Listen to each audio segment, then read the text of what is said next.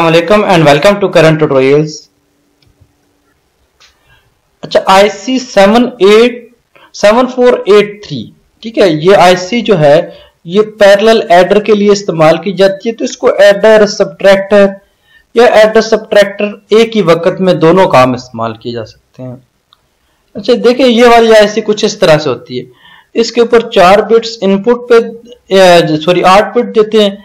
इन इन चारों को और इन चारों को आपस में ऐड करना होता है। तो इसीलिए कहते हैं four bit binary parallel adder यानी कि ये चार बिट्स जो है पैरेलल में ऐड हो रही हैं और चारों बिट्स बाइनरी में तो इसीलिए लिखा लिखा हुआ four bits binary parallel adder ठीक है? अब पैरेलल एडर में हमें output S zero one two three मिले होते हैं। और कैरी जो है, वो क्या सी आउट मिल रहा होता है। एक्चुअली इसके अंदर चार हाफ़ एडर लगे होते हैं। चार हाफ़ एडर में ए पहले वाला हाफ़ एडर ए ज़ीरो और बी ज़ीरो को ऐड कर रहा होता है और सी इन ले रहा होता है। ठीक है? अब पहले हाफ़ एडर की जो सी आउटपुट होती है, अगले की सी इन होती है। ठीक है? इसकी डायग्राम मैं आपको दिखाता हूँ। कुछ इस तरह से होती है, देखें। ए ज़ीरो और ए नॉट को आपस में ऐड कर रहे होते हैं सी इन ले रहा होता है। ठीक है? सम आउटपुट मिल गई। इसकी जो आउटपुट है, अगले की इनपुट पे चली गई।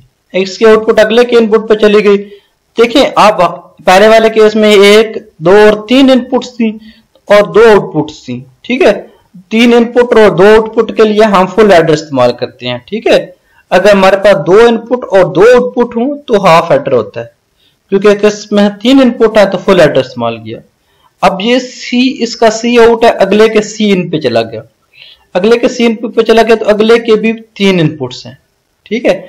इसमें actually seven four eight three में चार फुल एडर लगे होते हैं केस केड में, ठीक है? एक की आउटपुट अगले की इनपुट बन रही होती है। तो अगर हम इसको सिंपल तरीके से ऐड इस्तेमाल करें तो ये क्या होता है? पैरेलल एडर के तौर पर इस्तेमाल होता है। ठीक है? और, अब देखिए इसको अगर सब्ट्रैक्टर के तौर पर इस्तेमाल करना है तो देखें पहले सारे इनपुट सिंपल मिल रही हैं, सारे इनपुट्स को इन्वर्ट करके दे दी। ठीक है? नॉट गेट इस्तेमाल करें, ठीक है? सारे इनपुट को क्या कर दिया? और उसको कर कंप्लीमेंट ले लिया।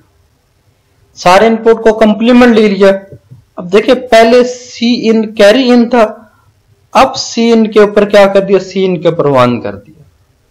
जब सी इन के ऊपर वन कर दिया तो आप ए माइनस बी करके आपको यहाँ पे ये सम की जगह में क्या मिल जाएगा? डिफरेंस मिल जाएगा। तो इस तरह 7483 को हम एडर के तौर पर भी इस्तेमाल कर सकते हैं, इसको सब्ट्रैक्टर के तौर पर भी इस्तेमाल कर सकते हैं। अब आप ये सोच रहे होंगे कि आप एक वक्त में या तो एडर पे के तौर पर इस्तेमाल करेंगे, वरना अगर आपने इन्वर्टर लगा दिया इसके ऊपर तो फिर एज ए सब्ट्रैक्टर इस्तेमाल होगा। इसमें एक ऑप्शन ये भी है कि एक ही टाइम के ऊपर दोनों इस्तेमाल कर लें। ठीक है? As a parallel adder subtractor ठीक है? अब इसमें देखें हमने क्या कर दिया? एक्सक्लूसिव और गेट लगा दिया। एक्सक्लूसिव और गेट लगा दिया। यहाँ पे एक सिलेक्शन मोड लगा लिया देखें, यहाँ पे सी इन वन हम तब देते थे जब सब्ट्रैक्शन कार्य होते थे। देखें ना ये। सी इन वन तब देते थे सब्ट्रैक्शन कार्य होते थे, और सी इन सिंपल तब होता था जब एडिशन कर लेते तो यहाँ पे जब मोड के ऊपर हम वन देंगे तो इसका मतलब सब्ट्रैक्शन होगा। ठीक है? जब मोड के ऊपर हम कोई सप्लाई नहीं देंगे तो उस वक्त एज एन एडिटर के तौर पर इस्तेमाल करेगा। जब मोड के ऊपर ज़ीरो देंगे तो ये हमें सम सम सम मिलेंगे, ठीक है? S one S two S three S four मिलेंगे। इसी तरह जब मोड के ऊपर वन देंगे तो ये D zero D one D two D three मिलेंगे। यानी कि सम और डिफरेंस इसीलिए लिखा हुआ अगर आप मोड ज़ीरो सेलेक्ट कर मोड के ऊपर ज़ीरो देंगे तो आपको सम मिलेगा, मोड के ऊपर वन देंगे तो डिफरेंस मिलेगा। ठीक है? आप करंट ट्यूटोरियल्स को सब्सक्राइब कीजिएगा, अपना ख्याल रखिएगा। इंशाल्लाह फिर मुलाकात होती है। अल्लाह हाफिज़।